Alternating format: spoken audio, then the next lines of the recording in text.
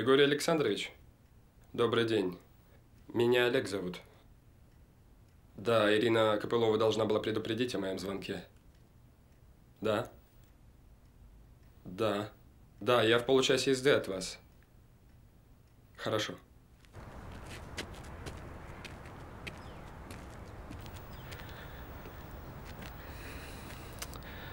Добрый день, Олег. Здравствуйте. Григорий Александрович, нам нужна ваша помощь. Как Ириша, кстати? Спасибо, хорошо. Все еще с этим своим э, Артемом, если не ошибаюсь? Собственно говоря, в этом и проблема. Ну, рассказывайте.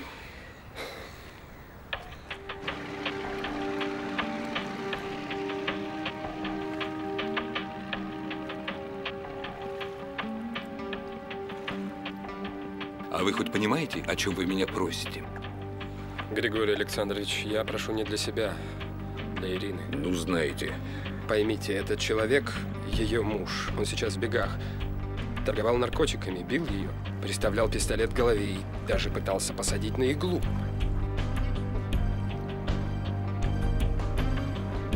Ну так обратитесь в милицию.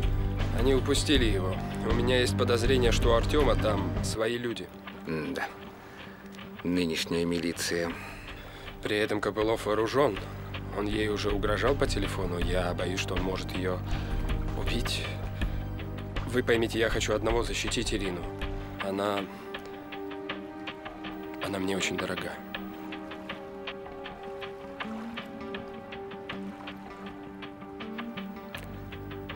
В общем так, Олег. Есть один человек. Раньше он для нашей службы выполнял, скажем так, деликатные поручения. Но в последние годы занялся собственным бизнесом. Насколько он хорош?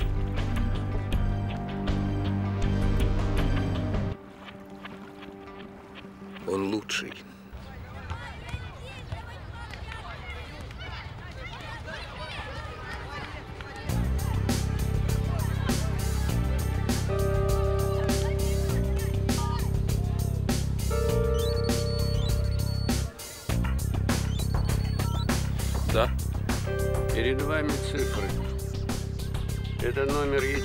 Камеры хранения.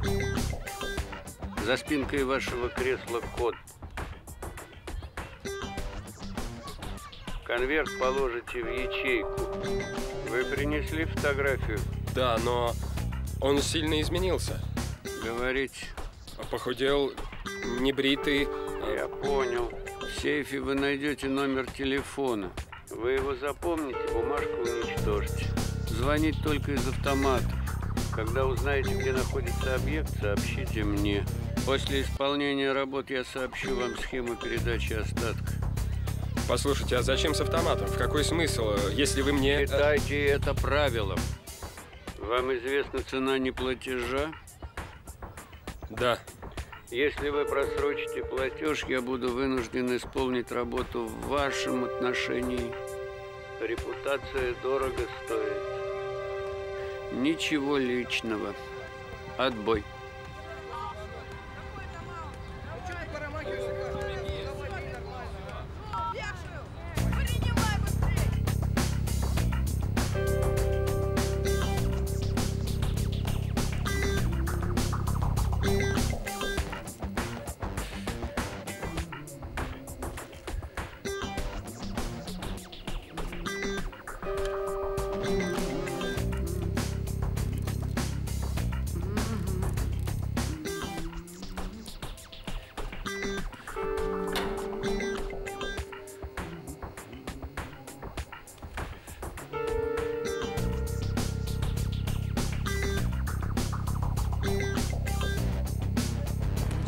Магазины на Фонтанке, субы каждый горожан.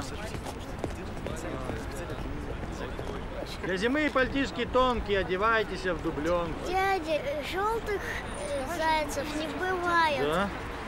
А какие бывают? И бывают только серые. А, понятно. Я тоже так думал. Вообще ты не заяц, ты человек. Магазины на фонтанке, шубы каждой горожан.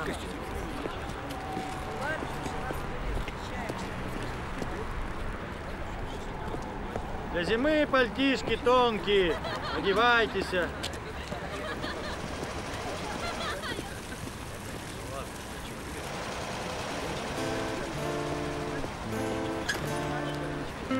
Давай за зарплатой, серый хвост. Давай, давай, тигр уссурийский.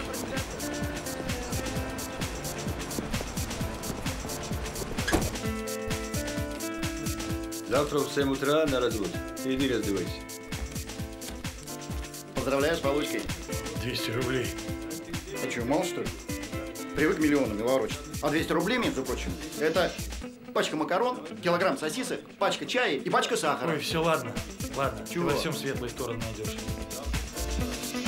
Ну, знаешь, Басой себя жалеет, пока без нового не встретит. Несмотря на договоренность с Селиваном, Копылов на встречу не пришел. Может быть, не смог. Он был там. Я говорю о фактах. Секунду. Капитан Гринько. Было похоже, как если бы он хотел понять расстановку сил. Собрать всех и посмотреть. Откуда знаешь? Интуиция. Хм. Интуицию к делу не пришьешь. Давайте опираться на реальные факты. На фотографиях нам удалось установить, кроме самого Селивана и его помощника Антона Ковальского, еще Ливана, Кюхтюрбекова и бойцов его отряда. Так, так. Значит, Селиван хочет устранить Копылова? Боится, если мы возьмем Артема, тот нам многое расскажет. Ну, а это уже не по нашей части. Мы его, конечно, передадим коллегам, но сначала узнаем то, что нам нужно. Трафик, поставщики, сбыт. Да. Нам бы надо что-то с плиткой порешать. Или примусом там. Присаживайся. А 220 где возьмем? Что такое?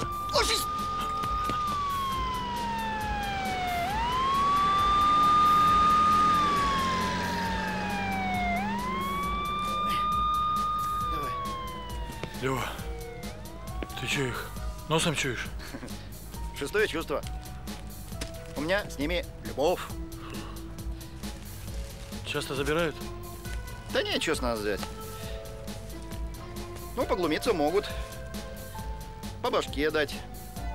Оно тебе надо? Вот и я стараюсь не попадаться. А в чем секрет успеха? Ну, все очень просто. Правило номер один. Чем хуже ты выглядишь, грязный, вонючий, тем больше шансов, что тебя не возьмут. Ну, чего им руки-то морать? Правило номер два. Значит, если ты все-таки попался, все, включай психа. Ори что-нибудь типа «А, Продались, значит, да? Купили вас потрохами! И кому продались? Доллару продались, да? Всю страну продали, дерьмократы, сволочи! А, как в глазах зелененькие бегают. Вижу. Неплохо, неплохо. Ты знаешь, я даже на секунду поверил. Вот. Ну, вообще, обитать лучше в центре. Там есть шанс. Меньше шансов, что тебя заберут. Там-то незаметнее. Вот. Вообще, в идеале заведи собаку. С ней тебя точно не заберут. Вот. Хотя я больше люблю кошек. Кормлю этих тварей. Да не мое это, говорю же. Женя, ты мне вчера материалы по Мерину так и не дал. Богдан, я сейчас к, к Прыгунову, я после обеда занесу, да? Лады, я в аппаратной буду. А что там? Ну, видеопленку еще посмотрю. А,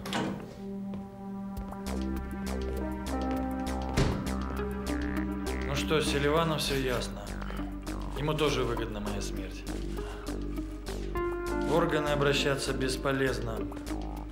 Завалят, даже рта не успею раскрыть. Гринько роет. Взял данные намеренно. Мерено. Списывать надо. Из-за него все сорвалось. Виталя, а мы так не договаривались. Не так все на мне. Вот на этих вот руках. А ты хочешь, чтобы я Артема, а теперь еще и Мерина. Выбора нет. Слышал поговорку? Коней на переправе не меняют. Нам теперь идти до конца. Может, друзья какие-нибудь? Знакомые? С друзьями у меня туго, Лёва. Знакомых, во-первых, пасут всех, а во-вторых, боюсь, они меня ненавидят. Дожил до седин. Черт, слишком много врагов. А почему я должен отвечать за чьи-то ошибки? Отвечать будет тот, кто ошибался. Прайс мы увеличим. А с Гринько я договорюсь. Слушай, а может тебе просто потеряться на годик, а? Пока страсти поутихнут. А вот это самая страшная ошибка. Дать им концы подбить. В моем деле. Так не давай. Думай, что думай. Не сиди сидим-то. Давай. Каждый враг это минус. А минус на минус дает плюс. Будем их лбами сталкивать. Правильно. Разделяй, властвуй. Далеко пойдешь. А пока мыться. Пойдем, пойдем.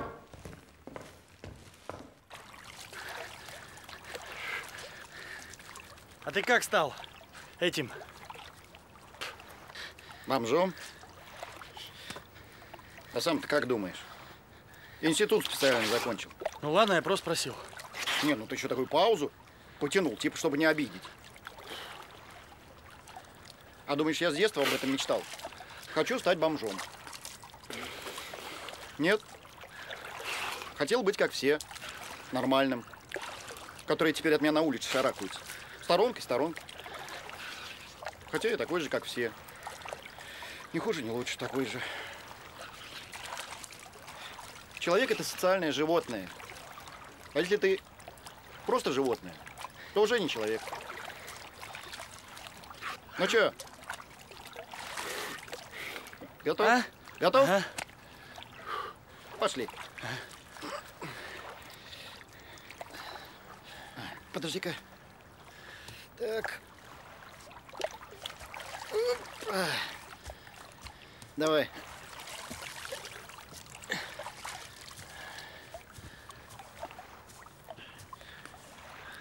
Или вот тебя, Артем, взять. Ты сам кто теперь? Принц Бомбея. Такой же бомж. И чего, ты к этому всю жизнь стремился? Ладно, не заводись. Я и тебя не заставляю отвечать. Не хочешь, не говори. А мне 37 лет. А не скажешь, да? Как Пушкину. Раньше работал в конторе одной. Начальником отдела.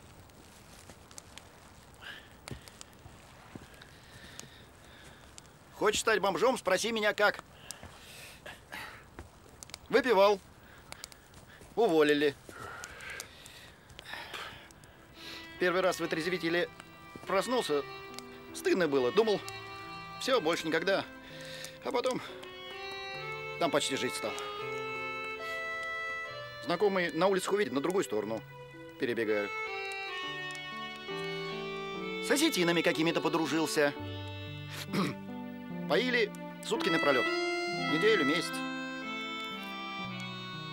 Ну, а что на халяву-то? Я вообще в то время смутно помню, так? Кусками какими-то. Это самое, к нотариусу что-то выводили, бумаги какие-то подписывал. Ну, Так у тебя что, квартиру отобрали, что ли? Очнулся Псковской области, в деревне. На полу избы какой-то заброшенной. Ни документов, ни денег, только точно на мне. До Питера два месяца добирался. Воровал на выпивку. Знаешь, как огребал, когда попадался? А когда домой вернулся? Там уже другие жильцы. Спустили меня с лестницы, как, впрочем, и все остальные. Милиция, Жек. Но ты не пытался обратно вернуться в нормальную жизнь? Нормальную жизнь. Родители умерли. Жена ушла, когда еще выпивать стал. Про друзей тебе рассказывал. Нормальная жизнь, нормальный мир.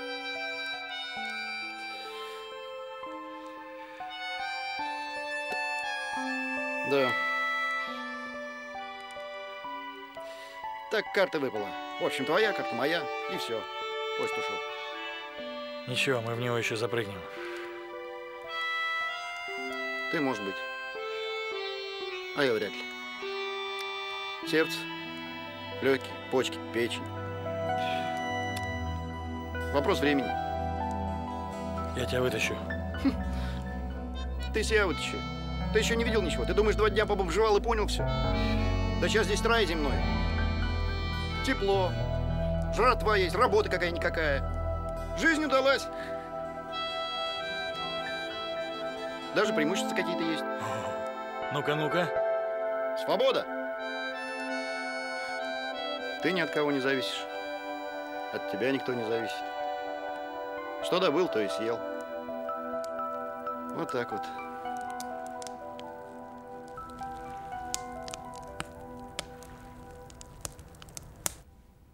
Олег Александрович, у меня сегодня встреча по ресторану на Малой Морской. Мы должны принимать решение. А что там? Ну, мы должны дать ответ по поводу аренды и, соответственно, проплатить аванс. Нет. Простите? Никаких новых ресторанов. И кроме того, мы замораживаем все строительство. Олег Александрович, у нас некоторые объекты под ключ. Я должен повторять дважды. Заморозить строительство. И прекратить переговоры по новым точкам. Так что, мы, мы продаем сеть? Я сообщу дополнительно. Все свободны.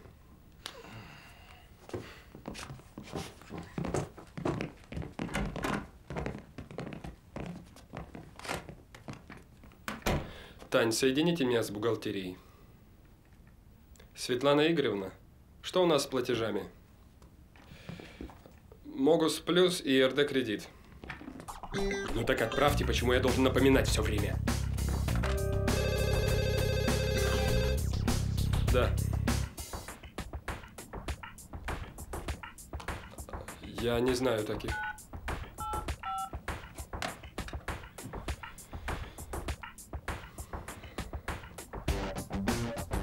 Вадик, ты что, охренел мне звонить на работу, а? Олег, не горячись ты так. Че ты орешь-то сразу? Я не горячись. Ладно, что тебе? Мне какой-то Гринько домой звонил. Из ментовки. Значит так, ни о чем с ним не говори. Я и не говорил. Сестра говорила. Она сказала, что я уехал. И правильно сделала. И вообще тебе надо потеряться недельки на две. Я сам все это улажу. Я тогда у друзей завис. Никаких друзей. Сиди и жди моего звонка. Ладно. Я сам найду тебе место. И не звони сам, только больше. Понял? Ленку давно не видел. Понял, понял.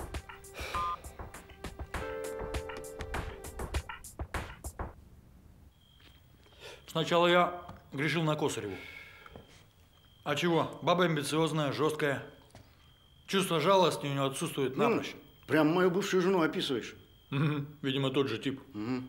Но она эти качества включает только по бизнесу. А тут неувязка получается. Устранив меня, она осложнила себе приобретение компании. Ей, ей проще было бы грохнуть меня, и все, без изысков. Принято. Валяй дальше. Основной принцип логики – это искать самое простое объяснение. Схема была простой. Меня объявляют в розыск, подставляют под убийство, а через какое-то время у черта на рогах находит мой труп со следами передоза. А Ирина, моя прямая наследница, получает 40% акций компании. Определим количество участников. Ирина, Олег, мент-наружник, мертвый уже, так же, как мой водитель, Володя. Это те, кого мы знаем. Остаются неизвестные. Мое дело – чистой воды подстава. Поэтому не обойтись без человека из органов. Наверняка тот, кто ведет мое дело. Дальше. Тот, кто меня колол. Я так смутно припоминаю какого-то парня. Может быть, Нарик. Не, ну смотри, со шприцом надо уметь обращаться. Газировка там, все дела. Не. Чего? Наркоману вряд ли. Он сам себе все по вене пустит, тебе не останется. Да? А это смотря сколько зелья. А в этих делах скупиться глупо. План же был, чтобы меня нашли, экспертиза установила, что я на этом деле долго сидел. Вот, значит, Герыч мог действительно уйти налево. Вывод? На продажу? Слушай, дилер, а что вариант? Мне снотворное какое-нибудь, я не знаю, димедрол, реланиум. А Герыч толкнул. Так что я ему еще спасибо должен сказать, что в живых остался. Его и будем искать. Потом. Сначала ментов. Это проще. Как? Обратимся в дежурку? Здравствуйте. Нам нужен продажный мент из Обнона. Только фамилию не знаю. Помогите, пожалуйста. Проще поступим. Подойдем на улицу и спросим. Но не у ментов.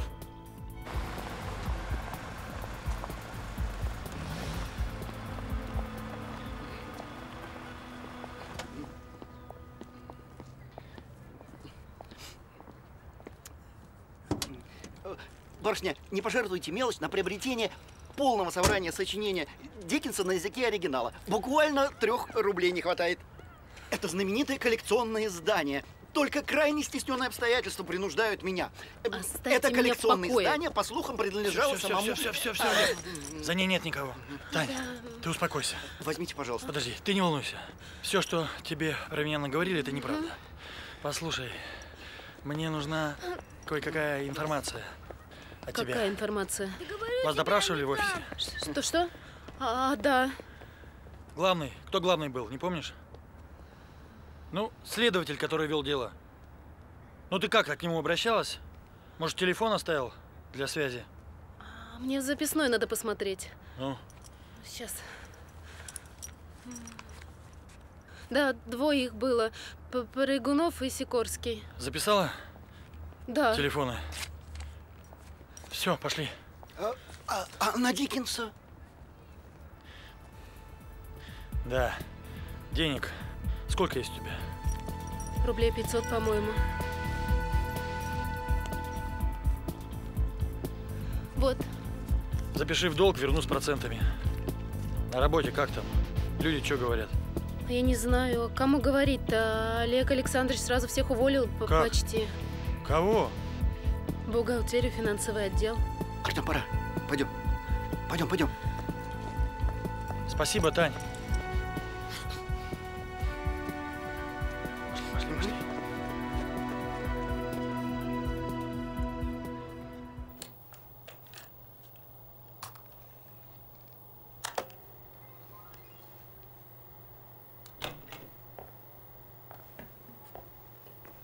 Заработались, что ли?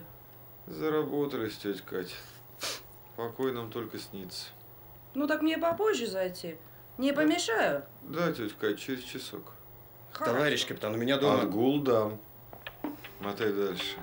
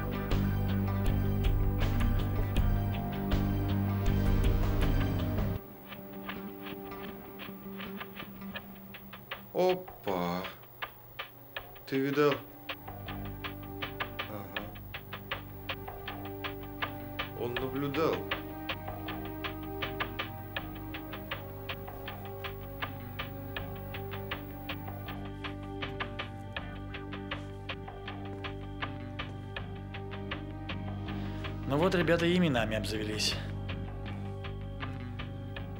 Артема там вообще могло не быть. Он предполагал и был прав, что встреча может оказаться ловушкой. Вместо этого он посадил в самое удобное для обзора место своего человека. Это его напарник. Бомж? Верно. У Копылова нет денег. Нет жилья. Вообще ничего нет. Значит, он будет вербовать себе союзников из таких же.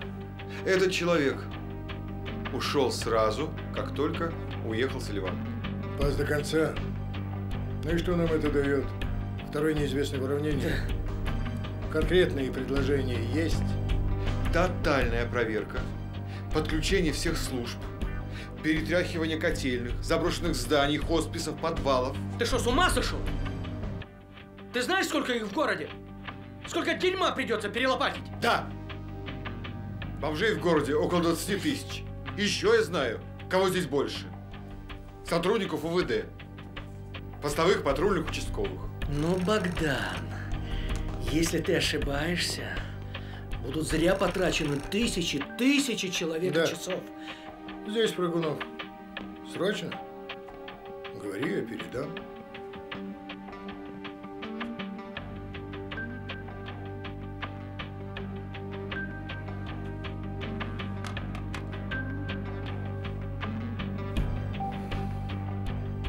Звонила секретарша Копылова, Татьяна.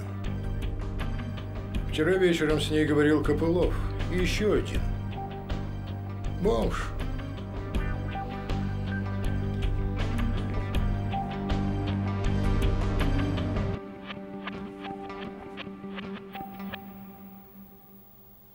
Нет, брови все-таки не те.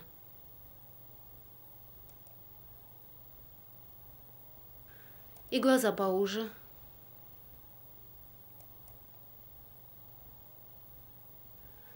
Шапка другая была.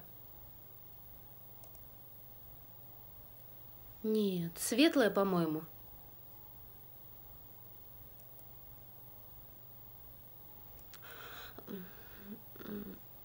Да, вроде бы.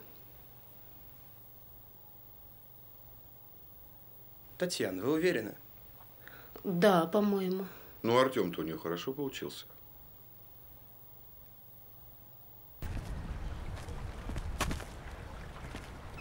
Артем объявился. Бомжует. Напарника какого-то нашел. Напарника? Да. Уж, наверное, он с ним поделился последними новостями своей жизни. Ну, если бы его поймали в тот раз. А если бы Мерин его не отпустил? Вы облажались вам платить. Что? А то, с этим вашим Мериным вырос объем работ. Мне нужно еще 20 тысяч на текущие расходы. А почему не 30 или 50? Вы не стесняйтесь, требуйте. К чему нам Хватит эта ложная скромность? поясничать. Я должен оплатить работу по Мерину. Придется его убирать. А его-то зачем?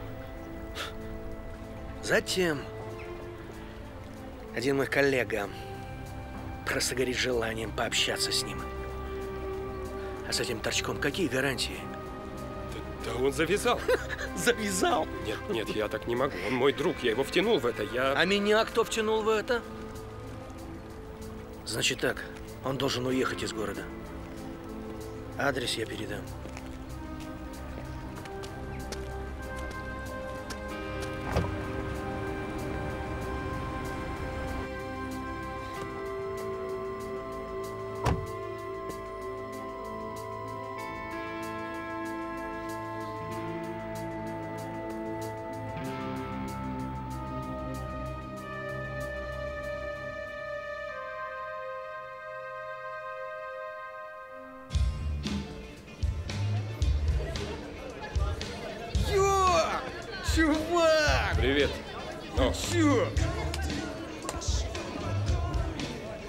Дела, дружище? да нормально все. Сто лет тебя не видел. А я типа тебя часто по телевизору вижу.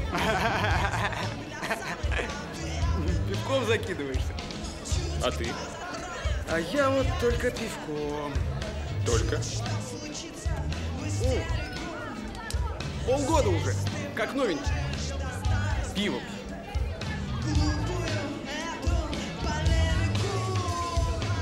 А это твоя бэху подъезд? Моя. Пробег? Я вообще-то в салоне брал. Ё! Чувак, да ты крутой! Ё! Ну рассказывай, как дела, как жизнь, как финансы. Ну, что, как финансы? Ну, на бирже спад. С финансами не очень. Ж сам понимаешь. А у меня, Вадик, тебе есть деловое предложение. Ищет вены дырявые Здесь любят в спину стреляющих Тех, что удача оставила Видишь, девчонка поет? Здесь слишком Друг моя. желающих Вичка, давай! Рок-н-ролл! Очень своеобразно. А ты думал? Так вот, слушай предложение.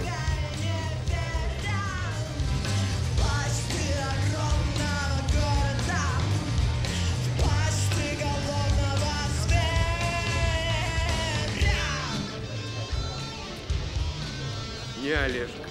Не подпишусь я на это.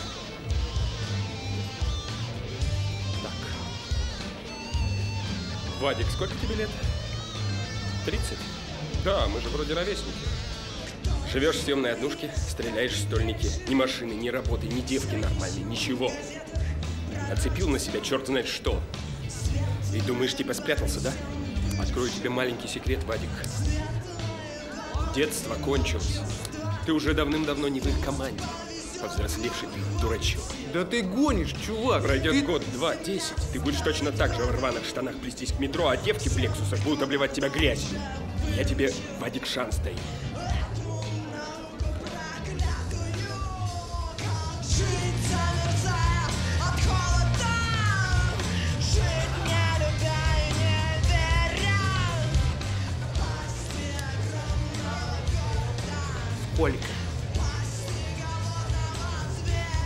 Пятерка. Когда все закончим, еще 10.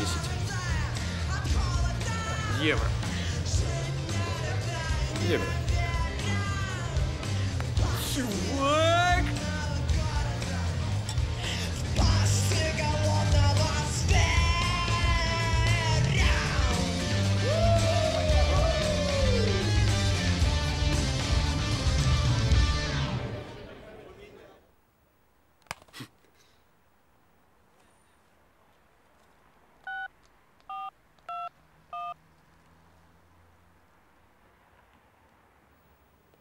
Привет, это я. Поедешь на старое место. И срочно. Что? Опять туда? А можно я с собой сестренку возьму? Какая сестра? Ты что, с ума сошел, что ли? Подожди, она что, рядом? Она слушает? Да нет, нет, ну просто. Ну чё, один я. Ну просто спросил, чё, спросить что ли нельзя? Как ехать, помнишь? Ну да. Ну все, тогда отбой. Да, и чтоб не знал никто.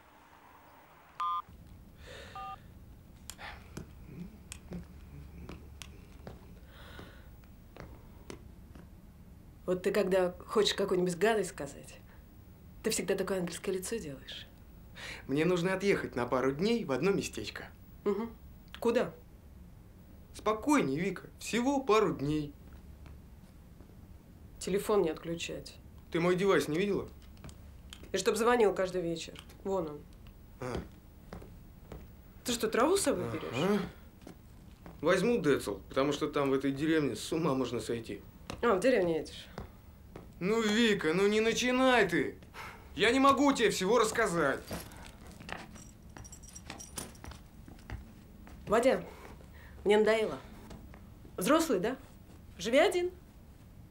Живи один, Вадя. Почему я должна волноваться? Ну, слушай, ну что ты начинаешь-то? Ну, две недели всего. А, две недели уже, оказывается. Только что два дня, по-моему, было. Две недели. Молодец. Слышь, да?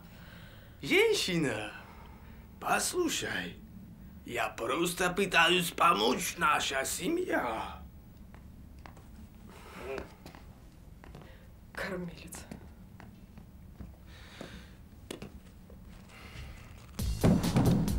Э, последний раз предупреждаю. Ну, короче, сами напросились.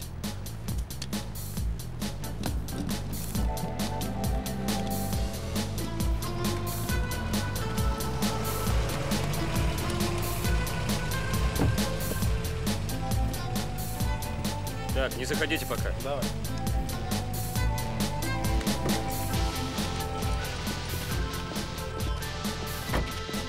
Здравия желаю, товарищ капитан. Ну все, сломали вроде. Готово. Давай выкуривай. Давайте, вперед.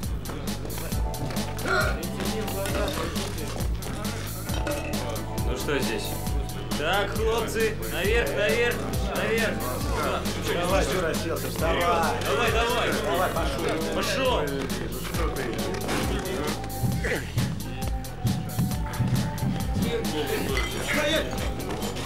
Иди, а? Что ты толкаешься? Давай двигайся.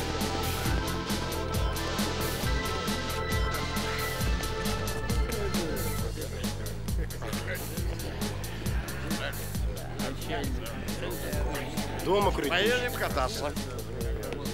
Поедем. Дай Ну да ладно. Дома покуришь. стоять, Да молчи. Вот еще ты дома покуришь. Нельзя, это сдаваться. Ну Сейчас сдашься Ну спите, да сиди ты Так в что, Дай вы пока не спросим. Дай.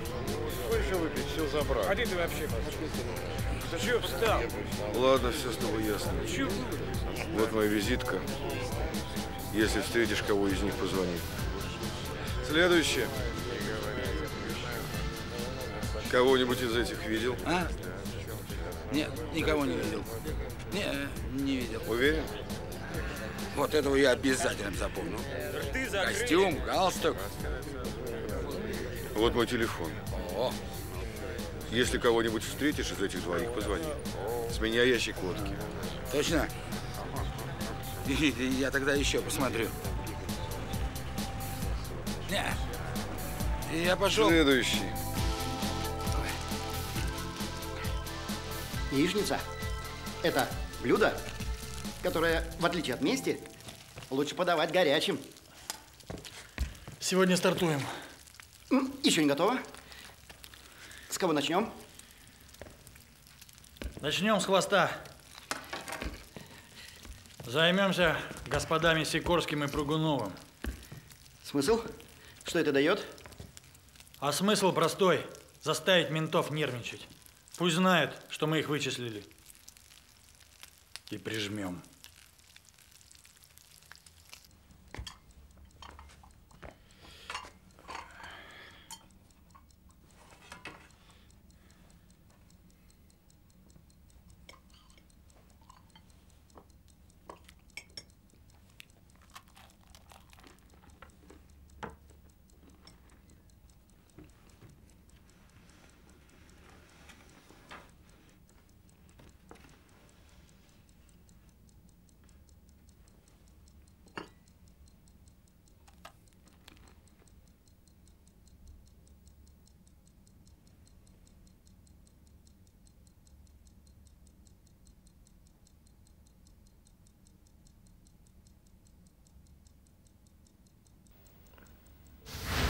Что он хотел от вас?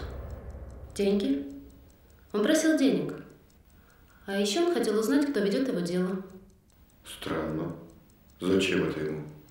Откуда я знаю? Это вы должны разобраться.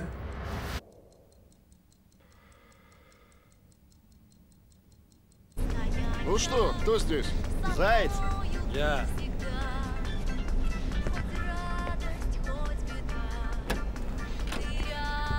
Непуха.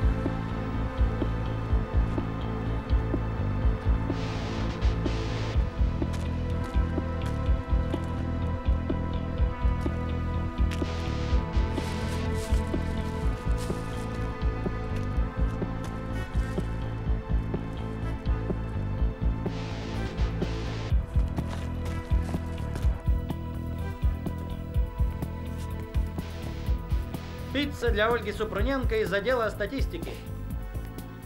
Сейчас позвоню, узнаю. Нет, нет, нет. Это сюрприз от коллег по работе. Ну, пицца стынет. Ну, проверь. Угу. Руки. Спиной. Чисто. Вторая дверь по коридору направо. Спасибо. Вот придумали.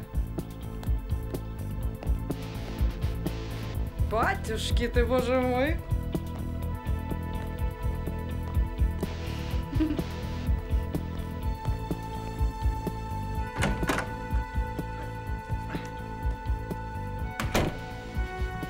Пиццу заказывали? Какую пиццу? Кабинет номер 16, Ольга Супруненко? Да, это я. Сюрприз.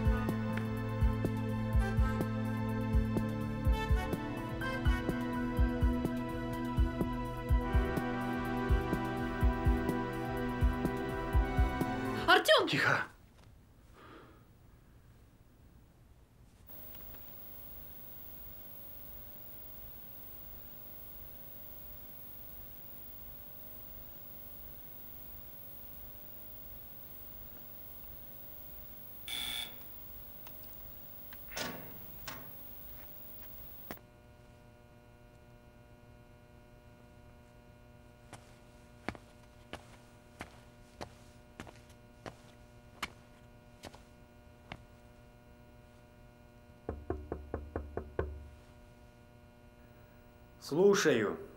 Тут вчера один ваш товарищ водку обещал.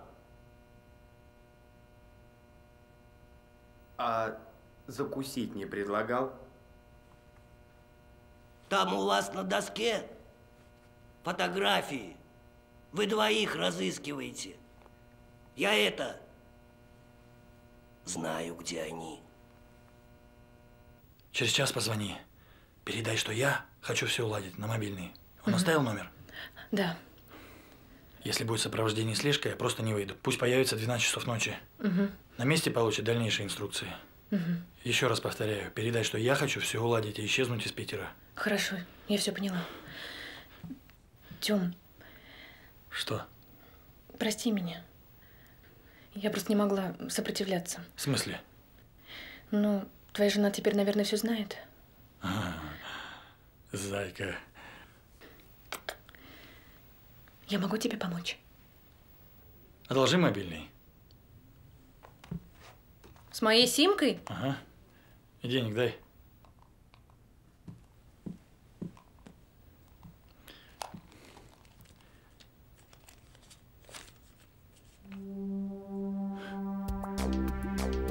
В ходе проверки было задержано 12 человек, находящихся в розыске за правонарушения по различным степеням тяжести.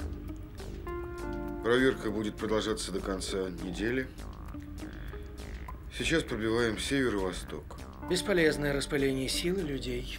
Из-за этих проверок нам пришлось снять наружное наблюдение с ряда возможных контактов Копылова. Извините, не выспался. И никаких Садись. результатов. Мы выполняем работу других ведомств, а к Копылову не приблизились ни на шаг. Да. Богдан Петрович, возьми вторую линию. Да.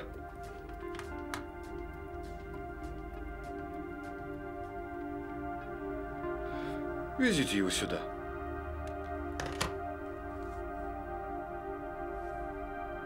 Один из вчерашних моих собеседников опознал Копылова и второго в шапке.